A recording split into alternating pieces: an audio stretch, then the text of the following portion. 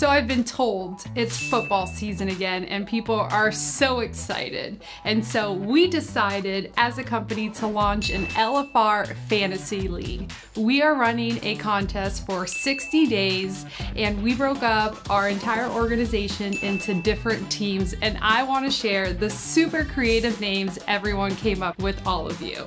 We have the Gladiator Closers. We also have the Sinister Seven. We have Billy and his Beast.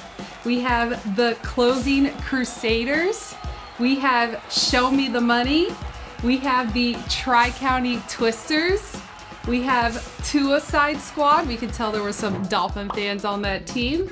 And we have the Real Estate Renegades. Stay tuned to see who wins tickets to go to the Dolphins game on October 15th.